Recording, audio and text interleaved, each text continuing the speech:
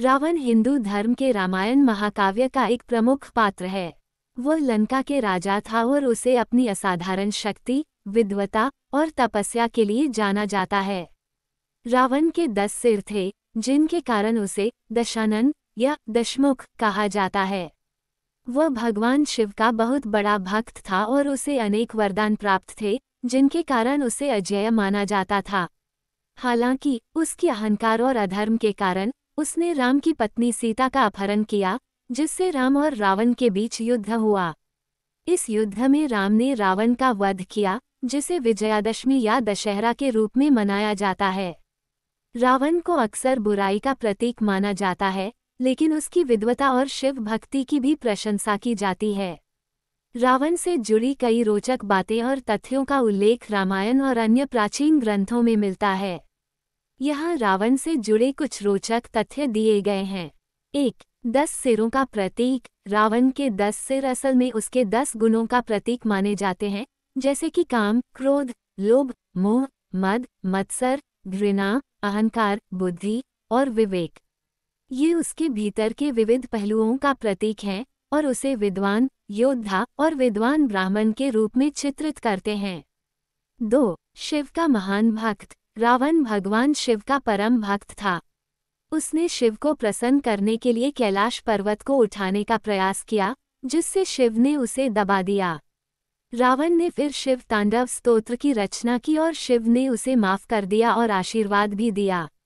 तीन, विद्वान और पंडित, रावण वेदों और शास्त्रों का महान ज्ञानी था।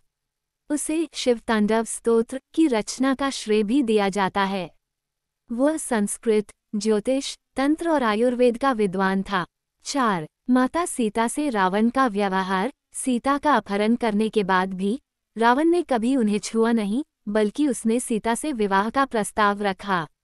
उसके अहंकार और शक्ति के बावजूद, उसने मर्यादा को बनाए रखा और सीता के प्रति सम्मान का व्यवहार किया, क्योंकि उसे वरदान था कि वो किसी स्त्री को बलपूर्वक नहीं छू सकता था। पाँच रावण की मृत्यु का पूर्वाभास, रावण को अपनी मृत्यु का ज्ञान था। उसे ये भी पता था कि राम उसका वध करेंगे, फिर भी उसने सीता को लौटाने से इनकार किया, क्योंकि उसे अपने कर्मों का परिणाम भोगना स्वीकार था। छह मंदोदरी, रावण की पत्नी, मंदोदरी, रावण की पत्नी अत्यंत बुद्धिमान और विवेकशील थी। वह रावण को बार बार चेतावनी देती थी कि सीता को लौटा दें और राम से युद्ध न करें पर रावण ने उसकी बातों को नजरअंदाज कर दिया। सात, विमान का स्वामी। रावण के पास पुष्पक विमान था, जिसे उसने अपने भाई कुबेर से छीना था। यह विमान इच्छानुसार कहीं भी उड़ सकता था और बहुत शक्तिशाली था। आठ, परम शक्तिशाली योद्धा। रावण न केवल एक कुशल योद्धा था, बल्कि उसने कई देवताओं, दैत्यों और अन्य प्राणियों को भी पराजित किया था। उसकी शक्ति इतनी थी कि उसने स्वर्ग पर आक्रमण करके इंद्र को भी पराजित कर दिया था। नौ, रावण का वध और पुनरुत्थान, रावण के छोटे भाई विभीषण ने राम को बताया कि रावण की मृत्यु तभी संभव है जब उसके नाभि में तीर मारा जाए, क्योंकि वहीं उसकी अमरता का रहस्य छिपा था।